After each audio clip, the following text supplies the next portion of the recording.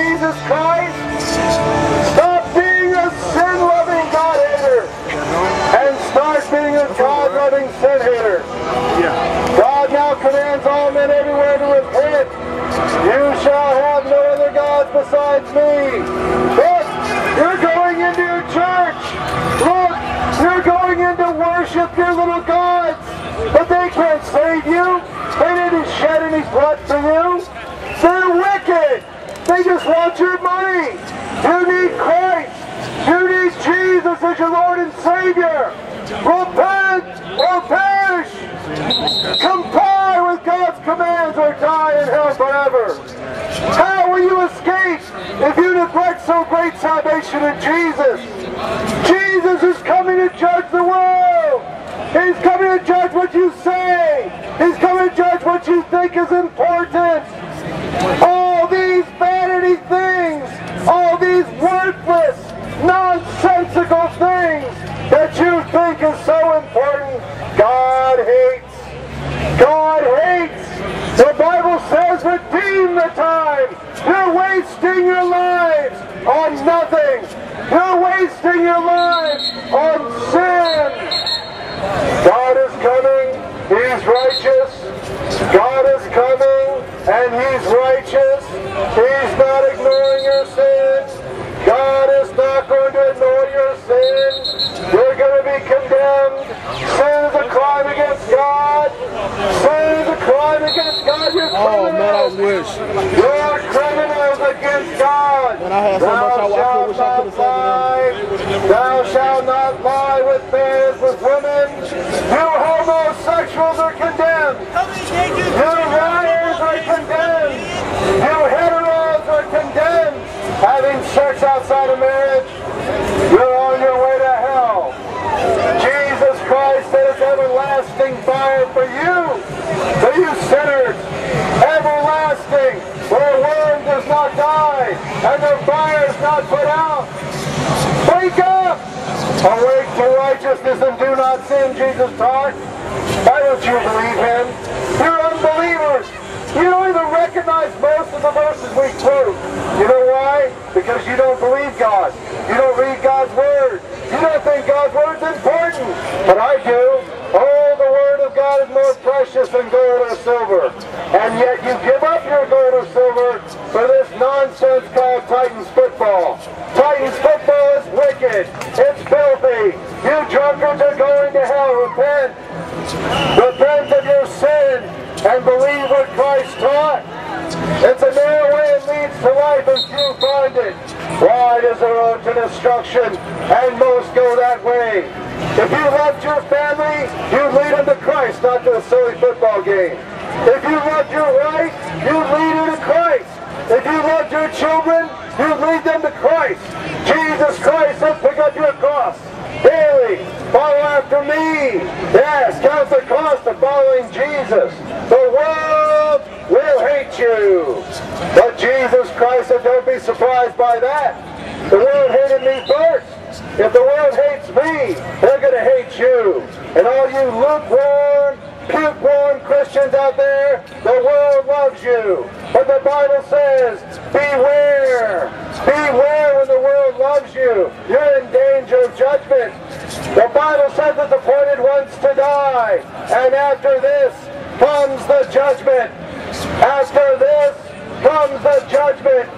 You'll give an account for every minute you've wasted, every dime you've spent on your sin. God will give you an account. God will give an account to your parents for your children, the way you raised them up. You either raised them up in the admonition of the Lord, or you got drunk in front of them. Shame on you. Shame on you sinners. Shame on you sinners. You're leading your families to hell. That's how little you love your families. You don't love your children. You don't love God. You don't even know what love is. You don't even know what love is. I don't have your children, thank you. Oh, that's good.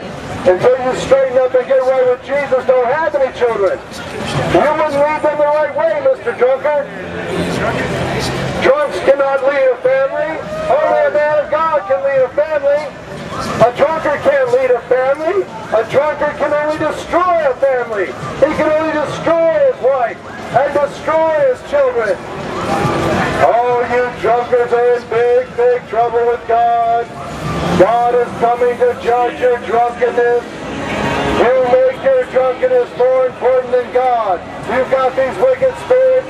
You need the Holy Spirit. You need the Holy Spirit. You need to be born again from above. You need to be born again of God. God commands you to repent. God commands you to submit. We're here to warn you, to tell you that God's judgment is coming.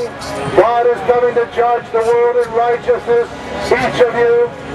Every person will be judged by a holy and righteous God. And we preach Christ and Him crucified. Christ on the cross, the blood shed that you can be set free. Jesus came to set the captives free from their sins. Jesus did not come and shed His blood, die that horrible way on the cross, so you could keep sinning and trampling the blood of the Almighty God of the Bible underneath your feet. Jesus did not come so you could sin. Jesus came set you free. Free from your sin, sinners. You need to become a saint of God. You need to become a holy one. You need to become set apart from this world. You need to love Jesus Christ. Yes, mocker. You need to love Jesus. Mockers go to hell. Don't you know that, mockers? Mockers will not, uh, God, God will not be mocked by mockers. Mock it up. You're storing up for yourself wrath and indignation from a holy and righteous God. God is not coming to play games with you sinners. You need to deal with Him. You need to deal with that sacrifice He made for you at the cross. Spark it up, old man. You know what? On Judgment Day, you'll give an account for what you just heard. Oh yes, the cross of Jesus Christ forces you to choose. Reject or submit. Reject or submit. If you reject again, if you harden your heart against God again, if you embitter your heart towards a holy and loving God again, God will reject you. If you die in your sin, God will reject you. If you die in your filthiness, God will cast you down. You need to be cleansed by the Lamb of God. You need to be clean by the blood of Jesus Christ. Something funny, young man? You think something's funny? Your soul. I'm talking about everlasting something, everlasting judgment, or everlasting mercy. I don't deserve the mercy of God. None of us do. We all deserve the justice of God. The justice of God. That's what we all deserve. When you start agreeing with God, then God will start agreeing with you. Oh yeah, but right now you're forward towards God. You have a proud look towards God that God hates. God hates a proud look. And most of you walk by. Well, look, there's a proud look right there. Ah, ah, proud look. You see that proud look? You get that on the camera. You, ah. oh, yeah, proud look towards God, but you have. You hate the truth of Jesus preached. You don't like it because the devils that are influencing you, the devils that are in possession of you, they hate it. Yes, you're children of the devil. You're children of the devil. Look at you. You live and glorify fire. But you know what? God, our God is a consuming fire. Our God is a consuming fire. Our God is coming to judge with fire. God, Jesus Christ is coming in flaming fire to judge you sinners. To judge you. He's coming to judge you. Yes, Christ is coming in flaming fire to judge you sinners. Repent. I beg you, I plead with you. I, will, I beg you to repent, to be reconciled to Christ. Shut up! No, I'm not going to shut up, sinner. I'm going to stand up and speak up. I'm going to tell you the truth. I'm going to shove it down your throat if I want you to be saved. I don't want you to go to hell. I'm going to push you into the kingdom if it were possible. If it were possible, I'm going to compel you to come in. Make your choice today. Turn from your sin. Turn from your wickedness. Turn from your drunkenness. Turn from your filthy adulteries. Adulterers and adulteresses. Adulterers and adulteresses. Do you not know that friendship with the world makes you an enemy of God? Don't you know that? Being friends with the world, what you love, these things, make you an enemy of the holy God of the Bible. Get your Bible and read. People like you want me to worship the devil. Oh no, oh no, I can't make you worship the devil. You're already a child of the devil. By your sins. I agree with you. You're right.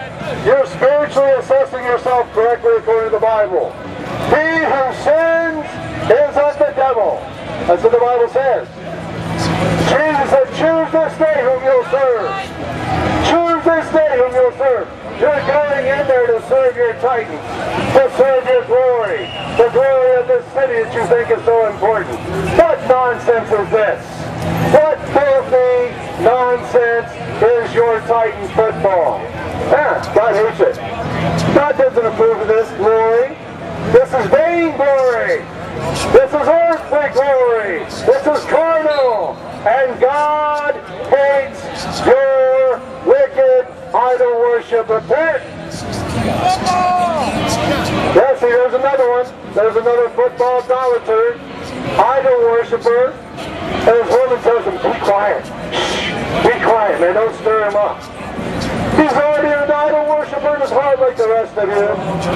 Drunkards will not inherit the kingdom. Revelers, partiers will not go to the kingdom. Oh, you will being patient with you right now, friend. God does not desire the destruction of the wicked, but that they turn and live. Did you hear that last part, sinner? You must turn to have life in Christ. You must turn from your sins, sinner. You must love Jesus with all of your heart, mind, strength, and soul. Yes, sinner. Yes, you must turn. This is a requirement. I don't care what your mommy and daddy taught you. I'm telling you what the Bible says. The Bible says if you don't repent, you'll turn. What's that? What's that mean? I'm not throwing stones, sinner. I'm throwing words. And Jesus said right after that, the woman who condemns you, neither do I condemn you. Now go and sin no more. Did you hear that, Mr. Smoker? Did you hear that, Mr. Smoker? Stop your sins. Go and sin no more. That's you, Mr. Rock Thrower. Why'd you bring me a rock? I don't have any rock. I'm not throwing rocks. Yeah, mockers will not, will not enter the kingdom. You'll be mocked by God in derision. Stop ruining the Gave you. Stop smoking and stop sinning. Confess your sin and believe and trust in Jesus Christ. God is coming to judge you sinners. God is coming to judge. Did you hear that? I didn't say I'm judging you. I said God is, I'm warning you. God is coming to judge you drunkards. All you porn freaks, yes, you're going, to be judged. It's not funny. Judgment day, you won't be laughing. You'll be naked and ashamed. You'll be naked and ashamed. You'll be naked and ashamed. Oh, All have white robes. Hallelujah. All the saints of God will be clothed with white robes. But you sinners will be naked, bowed down, ashamed, and then God will judge you. And then God will individually have his angels cast you into the fire. The fire that's never put out. God blessing America? Blessing America? While America kills its children? You're kidding me, right? 15 million abortions in America, and you want God's blessings? No! No, America! You don't have God's blessing, you have God's cursing! God's judgment's coming for you! Yes! If you think that's impressive, wait till you meet Jesus! Wait till you meet Jesus Christ! When his lightning east to west, when Christ shows up, you won't be able to say, God bless America then! Be able to say it then! When the blood of the innocent upon your hands, the blood of every aborted baby in this country is on our hands. Repent, America. Yes, you want God to bless you? Church, then humble yourselves and pray and turn from your wicked ways. Turn from your sins, sinners. Yes. Oh yeah, God's gonna thunder from on high. God's gonna thunder from on high.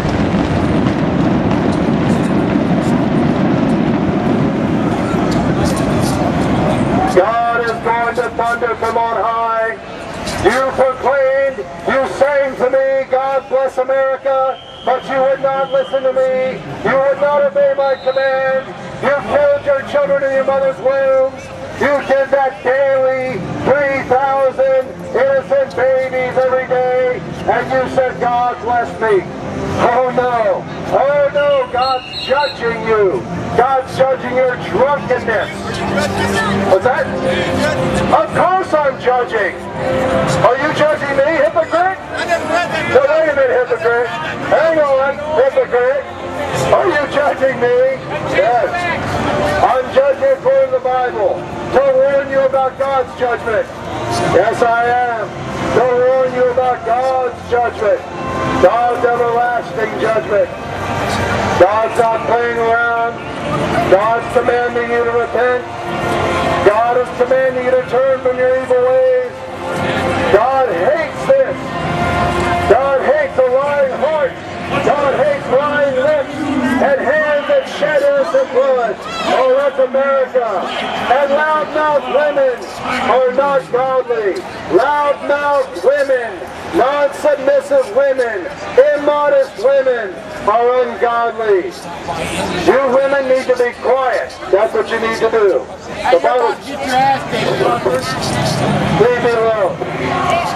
You're so tough, but you won't be tough in front of God. You won't be so tough in front of God. God bless you. Yeah, you won't be able to say that on Judgment Day. You won't be able to say that on Judgment Day. You'll be bowed down, crying like a baby. Oh yeah, tough guy. You won't be so tough on Judgment Day. There he is, right there, sir. That man right there. You see him? Well. Where'd he go? He went that way. Bald He's a bald head. guy. Bald head with black. Bald guy with a black jacket right down there. Him right down there? He's still there. Yes, I didn't come out here to assault you. I came out here to tell you the truth. Jesus Christ is coming to judge the world in righteousness. You're going to attack me on your right.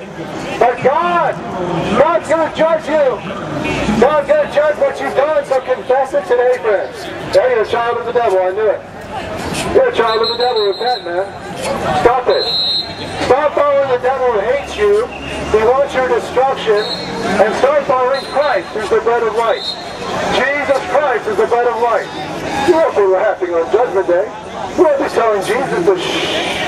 No, sir, you won't be doing that. Repent and believe. Confess and obey. Jesus Christ is coming to judge the world in righteousness, friend. We don't want you to be judged. We want you to have mercy. That's why we came to tell you about his judgment. So you don't have to be judged. So you could receive his mercy. But God's mercy is conditioned on your proper response. Oh, everybody knows that God loves them. Everybody knows it. But do you love God? And how do you know you love God? How do you know you love God? Here's how the Bible says. The Bible says you can know you love Jesus if you obey him. Are you a son of obedience or a son of disobedience? Are you doing things for darkness that your mother and father be ashamed of? That God is ashamed that you're doing? The Bible says God made you upright. The Bible says God made you in his image. And you tarred and marred his image with your sin. With your sin. And God now commands all men everywhere to repent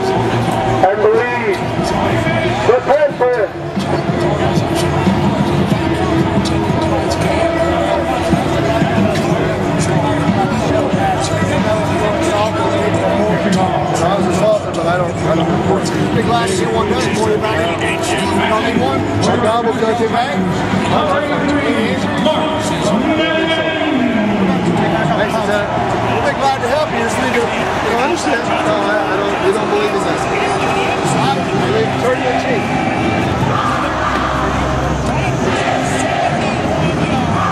You to repent, friend. We don't want you to be condemned. There's a man so upset with me earlier. He came over, wanted to grab my mic and take my mic from me, tell me shut up, threaten me. I forgive him. I forgive him in Jesus' name. If he doesn't repent, just like your hard heart, sir. Just like your hard, stiff heart. Stiff neck and hard heart. I forgive you in Jesus' name. But God, God's not going to forgive you unless you repent. God's not going to forgive you unless you repent, sir. Turn from your wicked ways and trust Jesus. Your house? No, oh, everything is the Lord. Yeah. Oh, thousands of cattle on the hills are the Lord. You're, you belong to the Lord, but you're not under his authority. He created you. He has authority to, to build you and tear you down. And God, if you not repent, God's going to tear you He's going to throw you down into the everlasting fire that never can be put out, friend. You know, if this place was on fire and I didn't warn you, boy, I, I wouldn't love you at all. But if you're not in Christ right now and you die in your sin, you're going to hell for your sins. Simple. What God has said. That's what God has said. We plead with you. We beg you on Christ's behalf to be reconciled, to get right. We don't want you to go to hell. We want you to come to the kingdom. But God has His conditions. God has His conditions.